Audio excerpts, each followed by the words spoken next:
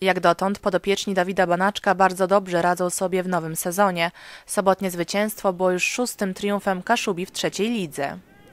W pierwszej połowie dwa razy do bramki gości trafił Piotr Kwietniewski, a po przerwie zwycięstwo przypieczętował Mateusz Princ. Pomorze Potęgowo zdobyło po jednym golu w każdej połowie, a ich autorami byli Patryk Pytlak i Adrian Solczak.